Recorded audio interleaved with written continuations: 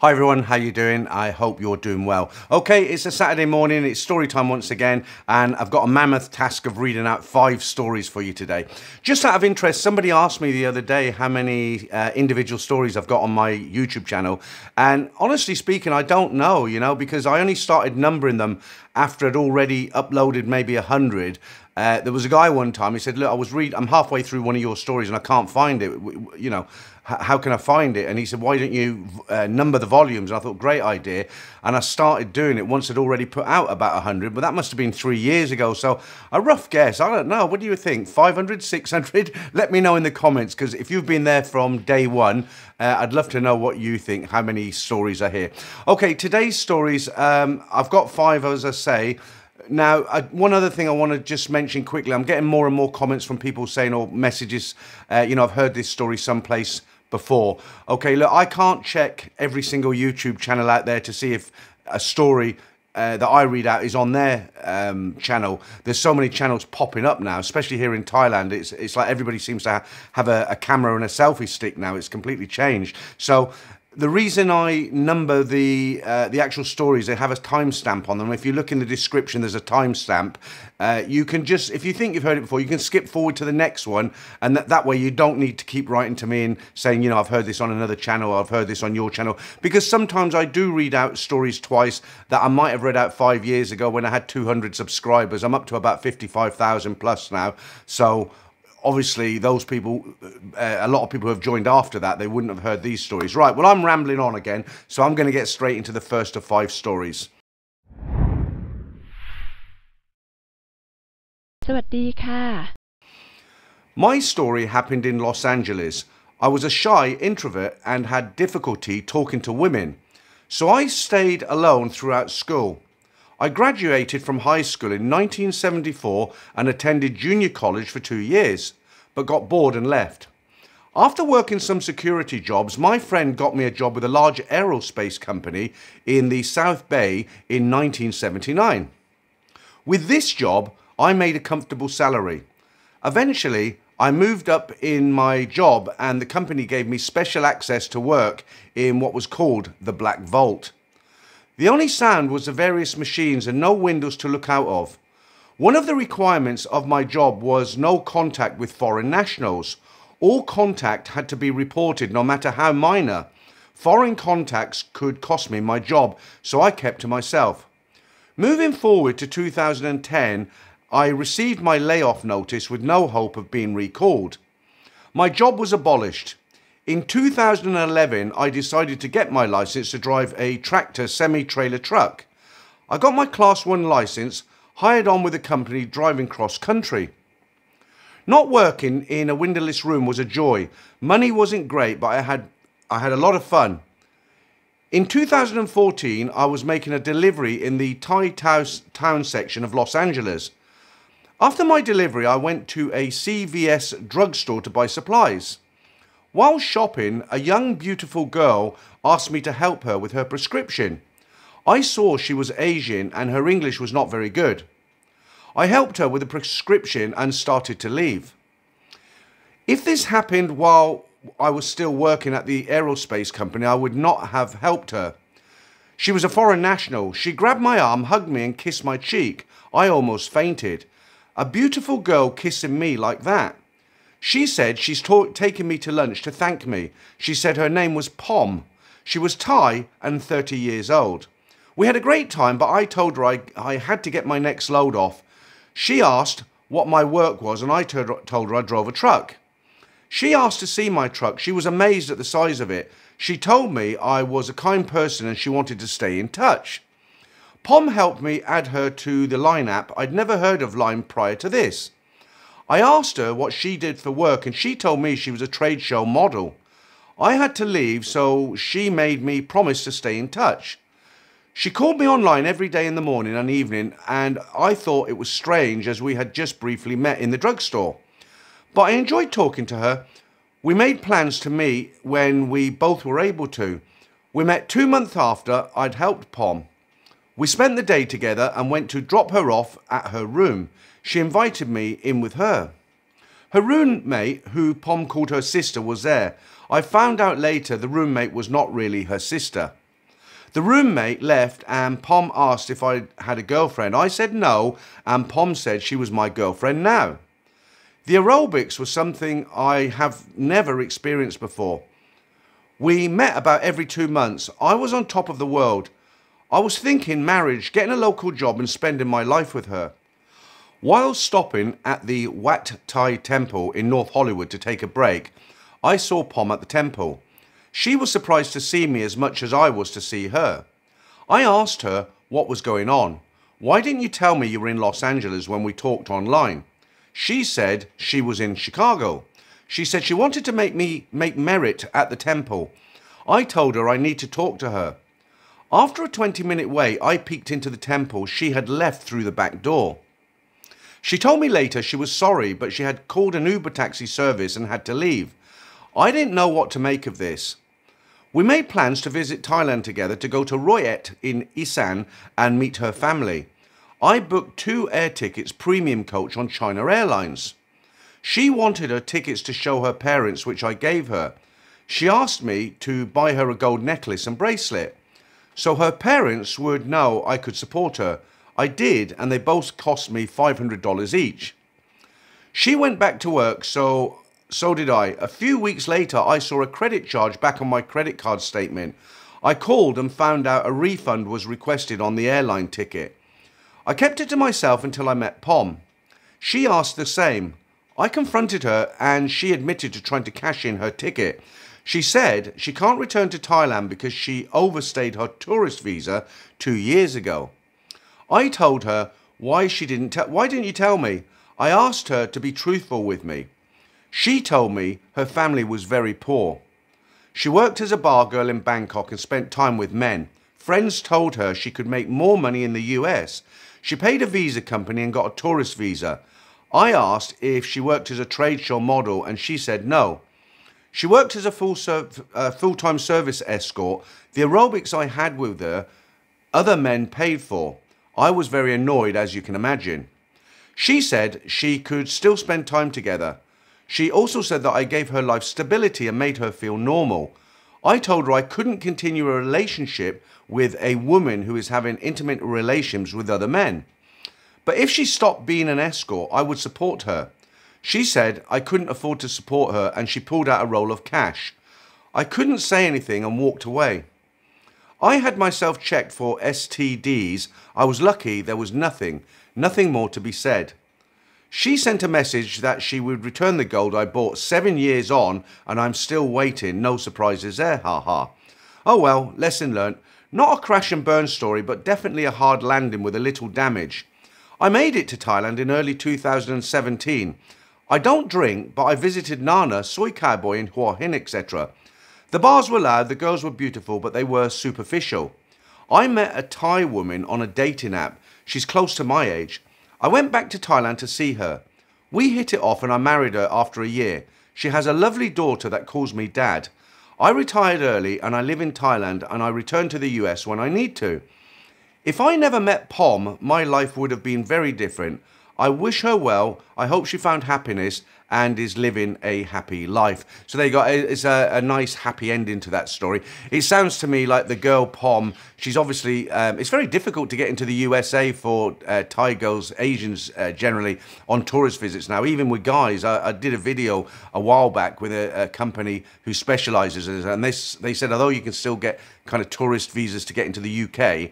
Uh, America is, is completely different. It's very, very difficult now. But if she did go in on a tour of visa, I'm guessing obviously she had a limited time and she was trying to snag somebody real, real quick, where you know, with an opportunity to get married and obviously get a green card and stay in the country. That's what it sounded like. Right, straight into story number two of five. I'm a regular visitor to Thailand. On a recent trip, after arriving and dropping my bag off at the hotel, I went straight to Soi Cowboy and found a bar to have a drink. Within a few minutes, a beautiful girl joined me for drinks. I am not an idiot, so soon I worked out that she was a ladyboy, but we were talking about football and cars while having a few beers, so it was no problem.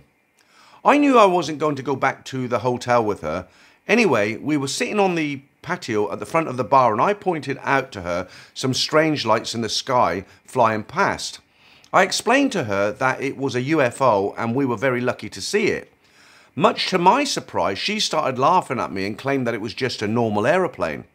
Obviously, I got very angry at her and told her that she is wrong and she needs to do her own research and not believe everything the government tells her.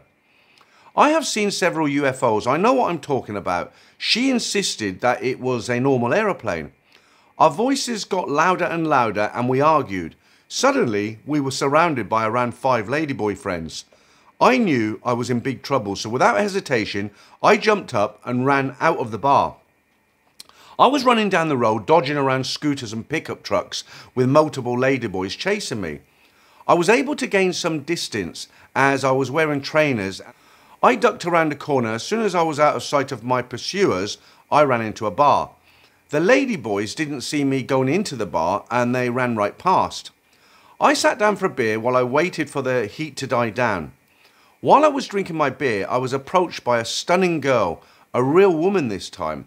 Her name was Tick. She was very beautiful, about 24 years old, with gorgeous skin and a very nice smile. Tick and I had a lovely chat over a few drinks. I told her about the UFO I had just seen. She said that she's never seen a UFO before, but she does believe in them. So it was clear she is not totally stupid. I was really enjoying myself and finding myself becoming attracted to her. Enough time passed that I wasn't worried about the ladyboys who were hunting for me, so I paid Tick's bar fine and we left. We grabbed a quick bite to eat and a few more drinks and then went up to my hotel room. I did see three of the ladyboys who were looking for me near the hotel entrance, but luckily they were looking in the wrong direction and we were able to sneak in unseen. Tick and I had a great aerobic session. In the morning, we had a quick aerobic session again, but she had to leave at 7 a.m. as she was going to teach the real aerobics. I arranged to meet her again that night at her bar. I spent the day sightseeing and then went to the bar later and had a few more drinks before taking her back to my room for some more aerobics. In the morning, she said she had to go teach aerobics again, but invited me to go with her. I put on my workout gear and went to her aerobics class. I was the only man there, but it was really fun to do the aerobics with all the women, and Tick was a really good instructor, and they played Western music at this aerobics class. Brilliant. After the aerobics class, we went back to the hotel for an aerobics session, and then I said goodbye to Tick. Later that afternoon, Tick and I were going for a walk and happened to walk past the first bar where I met the ladyboy. Unfortunately for me, the ladyboy was on the patio again and she recognized me and yelled, UFO man, UFO man. I didn't hesitate and ran back to the safety of my hotel before she could round up her friends.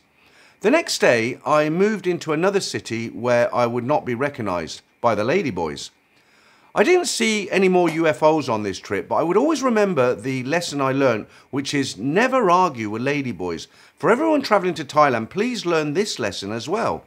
If a ladyboy disagrees with you or doesn't believe what you are saying, just let it go. Do not get into an argument. It is not worth the risk. Thanks for reading out my story, Peter. Soon I will send you a story about my Western wife who came with me to Thailand and she got herself into a bit of trouble. Okay, trouble with ladyboys there.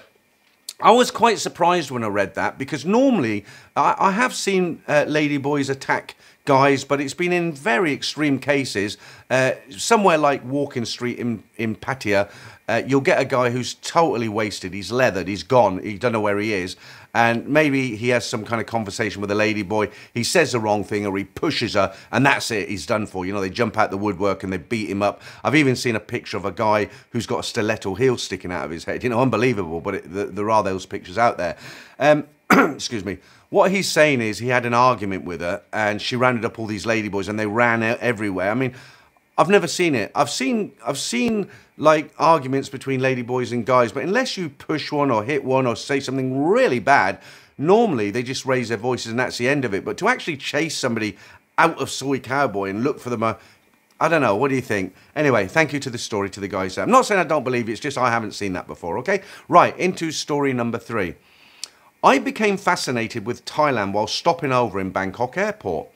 I was on my way to Taiwan to visit the parents of my future wife. Long story short, I didn't marry my Taiwanese girlfriend because it just didn't feel right at the time. She is very happy now and I have no regrets with the decision. Part of the reason was on my brief visit to Bangkok airport, I'd felt the charm of the Thai people, the warm welcoming smile and the way they greeted you. Thai people smile so much that it makes you want to constantly smile back. From that one stopover, I decided to convince my friends to visit Thailand, visiting Bangkok and Phuket in 2012. It was very strange landing in Bangkok for the first time. Being from England, I couldn't figure out why everything was so cheap. I then realised that things aren't cheap in Asia, things are just overpriced in the West. Jet lagged and confused about what to do, I then smelled the famous Thai dishes being cooked on the street. I saw an elderly man using a wok while his wife, would prepare the fresh ingredients. I decided to try this authentic street food. After handing over my Thai baht, I realised that I've just spent 50 baht for something that gave me a full stomach. Amazing. I was alone as my friends were arriving the next morning in Phuket, so I had a night of wandering from bar to bar. The next morning, I had booked a VIP car from Bangkok to Phuket. The car wasn't quite VIP, it was just a minibus full of strangers. There was a Swedish girl, two chilled out Dutch guys, two young skating type rebellious Western guys who would call each other dudes, and a middle aged, over opinionated, angry Western guy with his Thai wife. A car full of eight strangers, all expecting a VIP experience, only to be crammed into a 10 year old Toyota people carrier with stale aircon. So it came as no surprise that we were all disappointed, and the angry Westing guy had expressed himself to the driver by asking where was his VIP car. The Thai driver didn't seem to understand him. Staying calm, he kept a poker face, only for the angry Westing guy to shout even louder.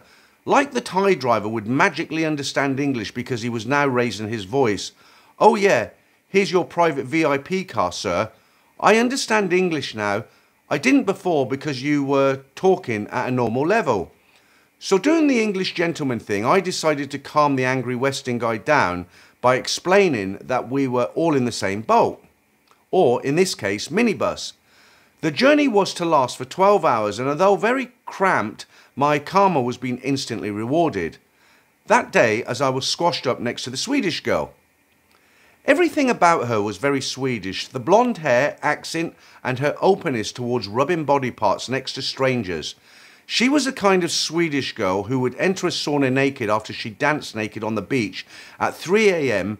during their 100 days of sunshine in Sweden. To add to my journey, I was seated next to two fun-loving Dutch guys who were a joke a minute. Between the four of us, we managed to calm the angry Westing guy down. We went from, I want to knock this Thai man's block off, to, I'll just sit quietly in the rear back seat. The 12 hours didn't seem like 12 hours because we were constantly making jokes about everything that goes wrong in Thailand how a VIP car is not really a VIP experience and how you can find a McDonald's fast food restaurant in a hospital. I quickly learned that showing the soles of your feet in public to Thai people is considered very rude, but shooting ping pong balls out from one's private parts is fine. I've always been a very serious person, but Thailand really changed my outlook on life. How we can choose to be angry towards a situation like the angry Westing guy, or we can choose to see the funny side of things like the two Dutch guys did. Not only did I have the most amazing road trip of laughter, I woke up in Phuket with the sweaty head of a Swedish blonde on my shoulder. We later exchanged details and YouTube will not approve of what happened next. My first memory of Phuket was visiting the bars at night time. There was a bar called the Freedom Bar owned by a British guy who served time in HM prison, hence the name of the bar. After he served his time, he was a strange, it was a strange feeling walking into a bar and being greeted by so many girls. Although it wasn't a bar where you can take the girls home, all the staff were so welcoming. The owner then gave us a guide on what to do and what bars to visit. The next bar we visited, we, jumped, we were jumped on by the girls. We were all very strong guys, and the girls jumped on us and started making funny noises that resembled a squeak in bed. We were laughing so hard that I struggled to stand up straight. I almost fell to the floor and had to use the bar top to support myself. A girl jumped off me and she jumped onto my not so strong friend and they both ended up on the floor. I laughed so hard that I nearly wet myself. The night went on, and at one point I needed to use the toilet. Stumbling to the toilets, I was amazed at the ice filled urinals, and it was oddly satisfying melting them with my beer fueled pee. And then, to my horror, my neck snapped twice, and then a little Thai man put me into a headlock, something that macho man Randy Savage would do to Hulk Hogan during WrestleMania. My hands being tied up, I had no control over where to point my manhood. He would then crack my back, and as he did so, pee would go to the next urinal. After I finished peeing, I left a 100 baht tip for that very Thai experience. On reflection, no guide in the world can prepare you for this. Beware of men snapping your neck in the toilets and asking for your money, said no part of the Lonely Planet book. The next time I needed to pee, I would wait for someone to go before me so that he was busy. But what a unique Thai experience. On my meeting my first bar girl, I fell head over heels with a girl called M. She was so beautiful and had the smile of a thousand supermodels. If her auntie was a celebrity, it would have been Lucy Liu in her prime. M had beautiful cheekbones, a slim body with golden brown hair. Her eyes just glowed and her lips just spelt take my money. This seemed too good to be true to be able to take this gorgeous girl away while paying for a guy's drink and a bar fine. She sat on the back of my scooter and hugged me while the wind went through our hair. We took a midnight walk along the beach with the moonlight guiding us. We relaxed on the sun lounges to gaze at the sky. And then out of nowhere, M abruptly gestured that we had to go quickly because we were being watched we could see a man on his motorbike in the distance lighting a cigarette and exposing his face. She said she wanted to go back to the bar and thought this was odd as I had already paid for the bar fine. Being the nice guy that I am, I made no fuss and drove her back to the bar.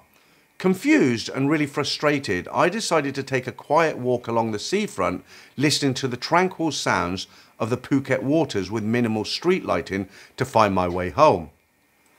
I walked up and down with a can of beer in my hands. To my horror, I was approached by a skinny looking Thai man with teeth like a lab rat. He pulled out a steak knife and threatened to stab me. You boom boom M? Shaking with his knife. He got louder and louder. It instantly occurred to me that I was being followed all that time from flirting with M in the bar to our romantic beach walk. M was aware of this, and this explains her abrupt departure. I took the Buddhist approach of calming him down palms open, and asking him what was wrong. He told me that M was his girlfriend. I could see right away that he was madly in love with M, and all that jealousy in him had built up to pull a knife out on a stranger. I stared straight into his eyes and decided he didn't have the eyes of a really bad guy. He also didn't have the strength to dispose of my body. I was twice the size of him. I was tempted to disarm him. I had to slap myself across the face and remind myself that I'm not Steven Seagal and it's just easier to calm down rather than to resort into violence. I ended up being very open with him and assured him that I didn't know she had a boyfriend. It wasn't like she was wearing I have a boyfriend badge or anything, was it? He would never have understood my sarcasm and he then put his steak knife back into his pocket and drove off into the distance. Taking a large gulp of my beer, I rode back to the bar and I explained all this to the bar owner, who was an English speaking Australian man. He was very understanding, and the next night, M had come to apologise to me. She explained that she broke up with her boyfriend before working at the bar. She then went back to my hotel room with me. I didn't have to pay any bar fine, and she didn't want any money the morning after. She was truly sorry she had put me through that experience. I don't know what M said to her ex boyfriend, but he didn't pull a knife out on me again. I didn't believe M's story of breaking up with her Thai boyfriend. I just enjoyed her company while it lasted. I felt bad for M's situation, how she would have to work in a bar to support her family and put her childhood sweetheart through all of this jealousy. So, for the rest of the two week holiday, my friend and I would visit the bar daily, ring the bell, and buy all the girls a drink. Get some hugs and move on to the next bar. We took nothing seriously and just enjoyed the Thai bar girl experience right up to the end of our holiday. If M's jealous ex boyfriend didn't pull a knife out on me, I would have spent the rest of my holiday with M.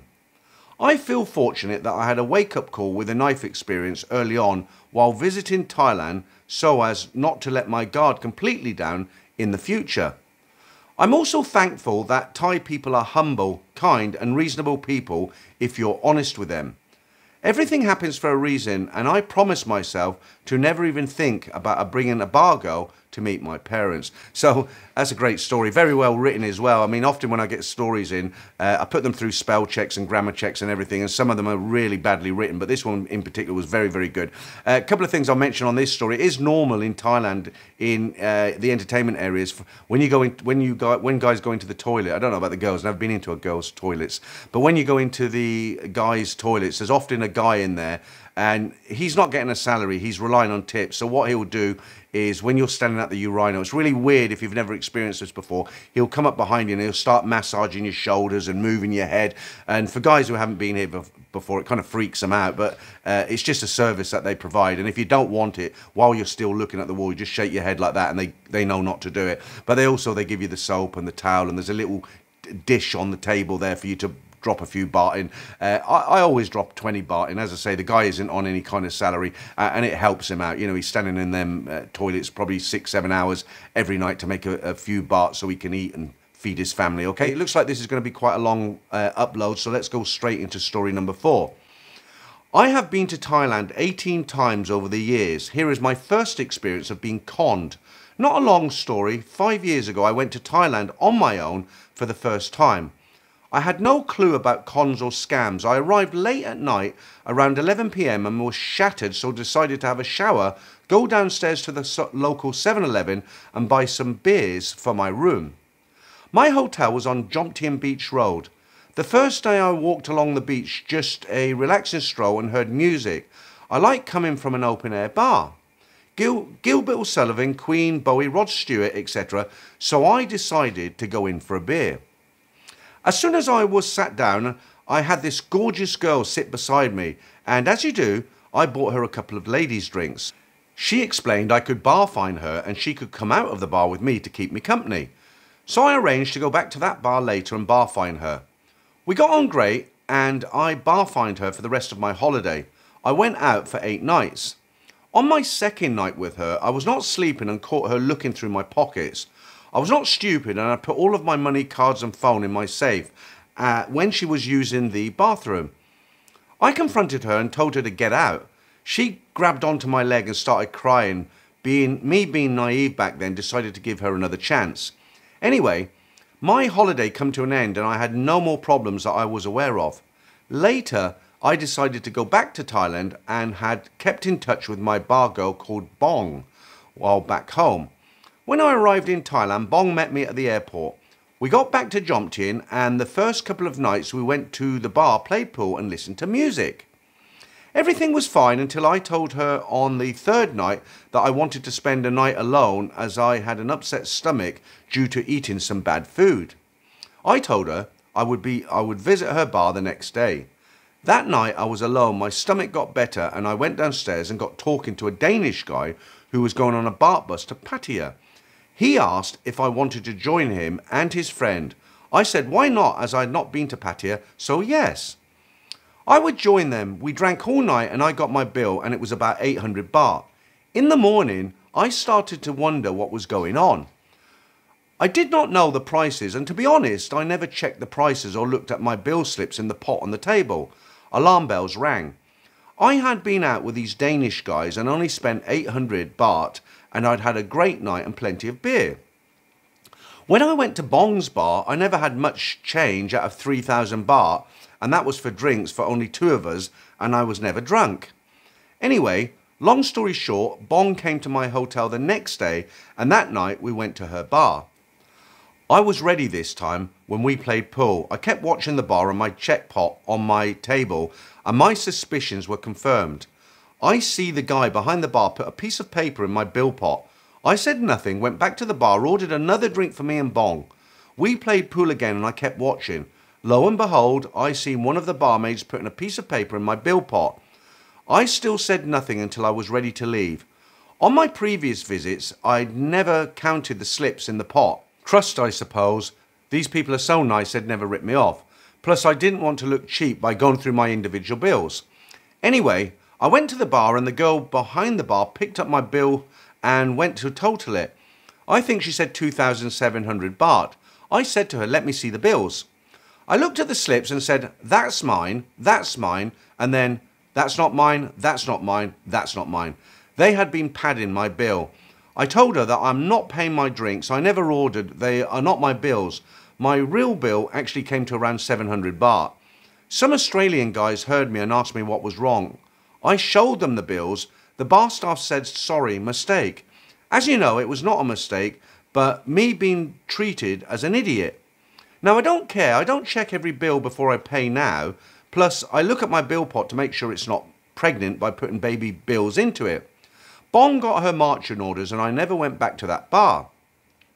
Lesson learned always keep an eye on your bills. So this is something that's very common in, in the entertainment areas is bill padding and what it is, they, they're slipping in extra bills. Uh, it's, it's all, it's getting really modern, much more modern here now. They don't tend to slip bills in. Most, a lot of the bars now, the bigger bars anyway, they have a continuous running bill and when you order a drink, they take that check, the one, the the bill that's already come from the cash register out of the pot, take it back, and they just add it, and it's the same kind of bill. Some guys think the solution to this is paying for every drink individually, but you'll become very unpopular very, very quickly if you do that because you're just making the waitresses uh, work, you know, several times harder than if they just had to come once. The best way to do it is anywhere you go is when you get the bill, just pick it up in front of the waitress, look at it, smile and put it back in. When you get another drink, do exactly the same. And by, by the second or third bill, or the next time you go in there, they'll know not to pad your bill because you've checked it.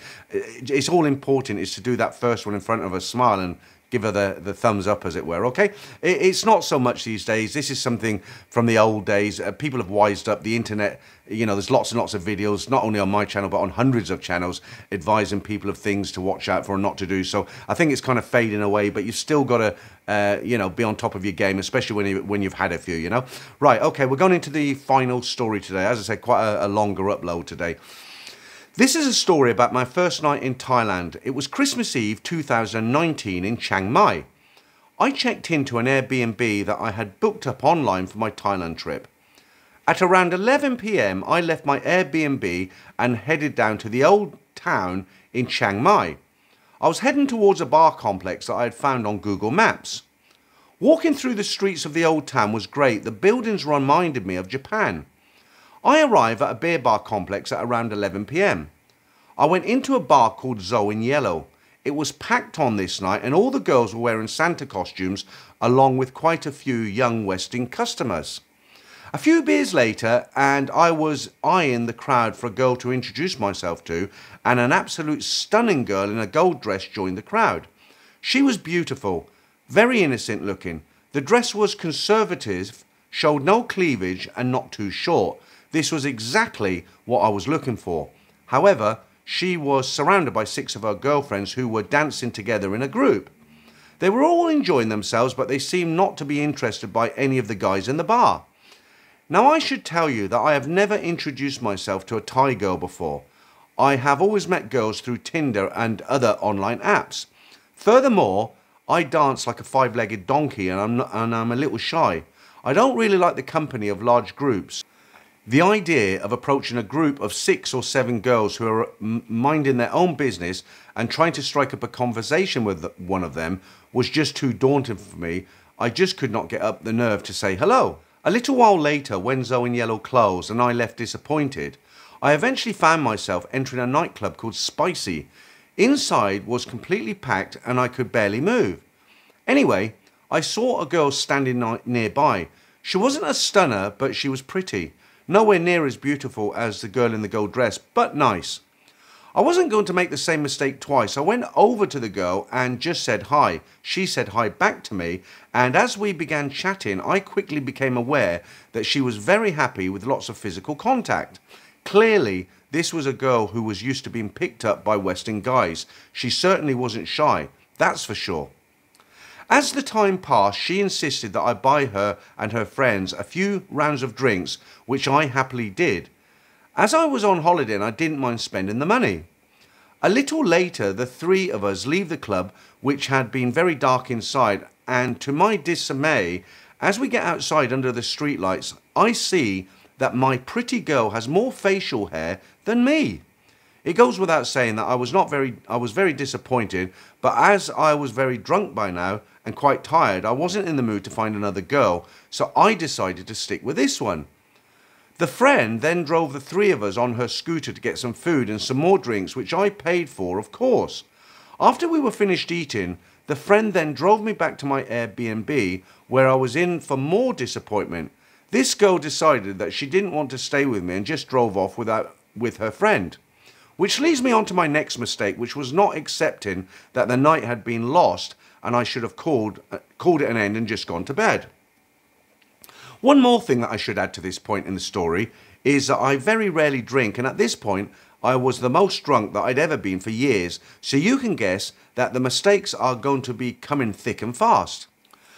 I decided to get a taxi and told him to take me to a place where I could get a girl. The driver promptly took me to a large karaoke venue on the outskirts of town. No doubt he received a fat commission for delivering a drunk foreigner to the venue. I stumbled inside and I was led to a room where I could choose a girl to join me. They asked me if I wanted something to drink and a snack. I said yes. They promptly brought in several drinks and plates of food without even asking me what I wanted or giving me a menu. I wasn't really enjoying the, the venue. I just wanted to take the girl back to my place, so after about 30 minutes, I asked for the bill, which was brought to me by a man who placed the bill on the table and then stood guarding the door so that I could not leave. At this point, even my drunk brain knew something was wrong. Sure enough, I looked at the bill and it was for 20,000 baht, about 500 pounds or 550 US dollars. I knew that I have been scammed. 500 pounds for a few drinks and some snacks. Now here comes my biggest mistake. I picked up the bill and I threw it on the floor, walked over to the Thai man, guarding the door, threw him across the room and opened the door. Whereupon, I was charged by about eight Thai men who easily pushed me to the floor, kicking and punching me while I was down. Even the girl that I had been sitting with joined in, stomping on me. It's interesting to note that wherever you are in the world, when men fight, there is an unwritten rule not to hit each other in the private parts. Women, however, don't seem to have this inhibition, and it became clear that this girl was making it her intention to prevent me from having any biological children in the future. Luckily for me, Thais are very small and light, and I'm used to playing rugby with men twice their size and getting battered and bruised. Their punching and kicking didn't do much damage, and I was able to dodge the girl's stomping and keep my bits intact. Surprisingly, at this point, I made a good decision I apologised and paid the bill. The Thais went back to being calm very quickly after this, like nothing had happened. I guess they are used to getting payment by force. Anyway, I made my way back outside and took a tuk-tuk back to my Airbnb where I made my final mistake of the night. I wasn't carrying any small banknotes. I only had a thousand baht note left and surprise, surprise, the tuk-tuk driver didn't have any change. I guess I should have gotten the driver to take me to 7-Eleven where I could buy something and get change, but I just wanted the night to come to an end. So I gave him the thousand baht note and went to bed. This was a very disappointing, painful and expensive first night in Thailand, but at least I learned a lot from it, and I hope your viewers will too.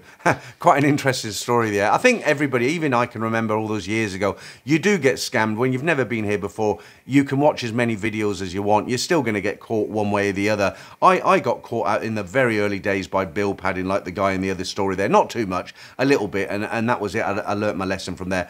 Okay, so that's just about it from me today. Guys, if you appreciate what I do, uh, there is a, a, link in the description. You can buy me a coffee or two, or I've now got a QR code uh, on the front of the screen there. You can just tap your phone uh, and do the same thing. I, I do appreciate that.